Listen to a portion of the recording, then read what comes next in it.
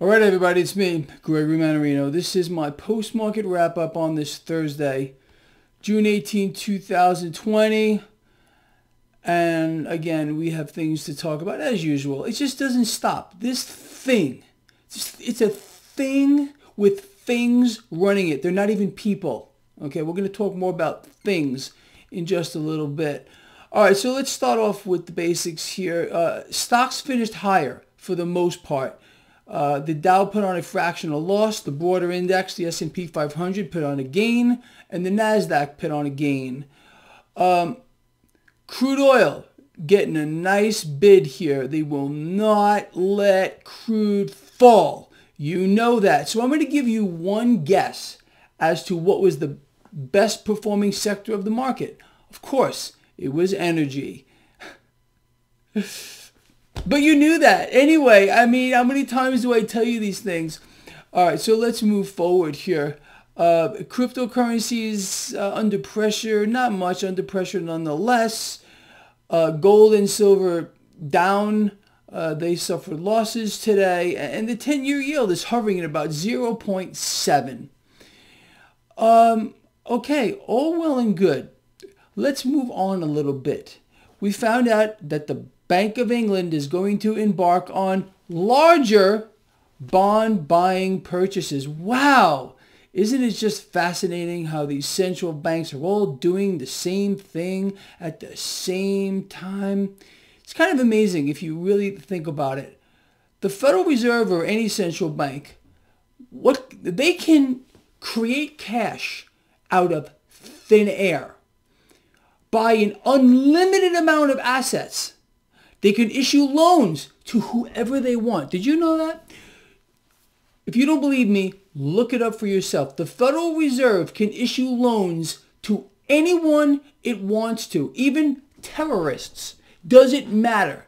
The Fed is allowed to issue loans in any amount to whoever they want to with no oversight whatsoever. Not just no oversight. You're not even allowed to know about it. Okay, this is part of the Fed's balance sheet that you're not supposed to know exists. You know, there are two balance sheets. So let's put this together. So the Federal Reserve, any central bank, they have the ability to create cash out of nothing, to buy assets in unlimited amounts issue loans to whoever they want to. Uh, how does how does that work?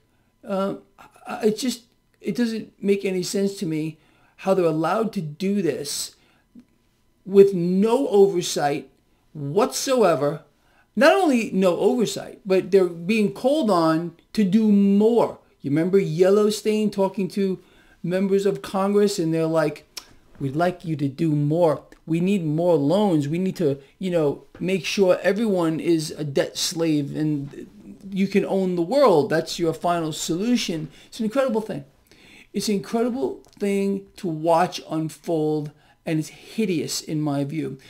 Um, so here's here's the deal. We heard from Fed from two Fed presidents today. Fed President Bullard, number one, Bullard is warning that there may be a risk of a depression. Yeah, maybe a risk of a depression. I'm surprised the market didn't take a big hit off of that stunning admission. But look, what is he really trying to do? He's trying to explain that the Fed is going to keep buying. They're going to keep creating cash out of thin air. They're going to keep buying assets. They're going to continue to issue loans. Um, that that's it. That's really what he's saying here. Then we had the other Fed president, Mester. That thing, she's another it. You know, Bullard is an it. She's an it. They're all its. You have to understand. They're not even human beings. Okay? She comes out explaining that there's not going to be an economic recovery for about two years. Now, let me explain this to you in case you don't know. They don't give a damn whether it's two years or, or two decades. All the Fed wants to do, all the its that are sitting in chairs, uh, and they may look like human beings, but they're not. They're definitely not human. Okay? And you, if you think I am joking here, you got another thing common. They're not human. Okay. These things that are running the Federal Reserve here, uh, they don't give a damn that 46 million American citizens are now out of work. These are worse than Great Depression numbers. They don't give a damn about it. They don't care about the economy because they deliberately shut it down via the scamdemic. Okay? So they can finish their final solution here. And so few people care. I know you do. But people don't care. This is how they're uh, allowed and able to get away with what they're they're doing on an unbelievable scale. Most people have no clue. You should count yourself among a very elite group that's able to see through it, that understands what's happening here around them. It's it's mind-blowing on it on a scale that it's just difficult for even me to get my head around. And I'm, I'm immersed in this 24 hours a day. Just and then you got players like Larry Kudlow, you got players like Steve Mnuchin. You know, just they, they're right there, helping the Federal Reserve finish what they're doing here. Um, and I'll tell you the truth here. And I know some of you are going to get angry at me for saying this, but I really feel bad for President Trump because he has no choice whatsoever. The man, every president, and I, I believe this. I've said it before. I'm going to say it again right here and now. The day that a new president is elected and then s- sits in the Oval Office behind the Resolute desk, that's the moment that this thing run by its is revealed to them. Say, this is how it's going. This is what how it's going to play out here. I believe that presidents are threatened, all of them. Maybe they're shown the Kennedy assassination repeatedly on, on, on 3D screens around them. I have no idea. But isn't it incredible. The way a president from whatever he campaigned on to what they do just changes like it a, a, complete 180 i mean this is what donald trump did and i'm not putting him down. They all do it. They all do it for the same reason. They all are shown how it works. And the federal reserve is the government not just of the united states but of the entire world. Why? Because the United States dollar remains the world reserve currency and the Fed is giving out multiple trillions of dollars. They just create thin air to central banks all over the planet. And what are they doing with those dollars? They're buying assets. Could you imagine if we had a little oversight here? There, it, this is a crime syndicate. I think you understand that.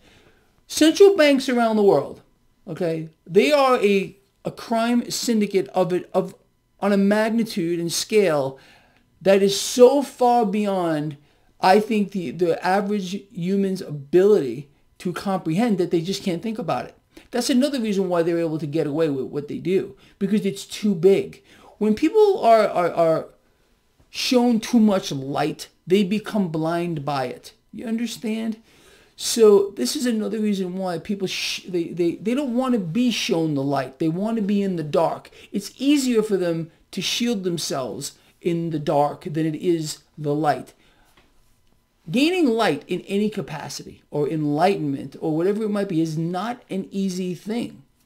Um, and it's even talked about in a bad way. Oh no, the the illuminated ones, the enlightened ones, they're dangerous. You know why? Because they have knowledge, and knowledge is power. You and the average pe- person out here must be kept in the dark. You understand? That's what this whole thing is. This is how this whole thing runs. This is why people are dumbed down on an unprecedented scale. They can barely walk and chew gum at the same time. That's why they don't understand the financial system at all. Um, it's meant to do this by design. All right, now look, with this, I want to give all of you a quick heads up here. Pay attention to the mainstream narrative. It is all fear. Fear, fear, fear. Resurgence of the virus. The virus is coming back to get you. Make sure you wear your mask. It just became mandatory in California to wear masks in public places uh, where social distancing doesn't work. This is going to get worse here. The mark of the New World Order, the symbol, is the mask. Remember that. And they're laughing at us, the its that are running the entire world. And I'm going to say it one more time. They are not human. They're not human. All right, um, look, this guy here loves you a lot. I think this video is important. And, um, you know, hold, hold that thought. I kind of got distracted here. But the fear narrative from the mainstream media has the potential to weigh on this market. You understand? Fear is a powerful driver. Fear takes a person back to their primal state, their primal mental state, and it doesn't allow them to think rationally. Once you make people afraid of something, you can mold them. You can put suggestions into their mind, subliminal ones, through symbols or whatever else you got to do to control them. That's all this is. And the its are looking to control the entire world. And they're there already. They're there now and they cannot be stopped. Ask the president because he had a sit down right after he uh, sat behind the desk and he'll tell you. Well, maybe he can't tell you, but he wishes he could tell you. All these presidents wish they could. They can't do it. All right. I'm out of here. Please share the video if you think it's important. Love you a lot. See you in the morning.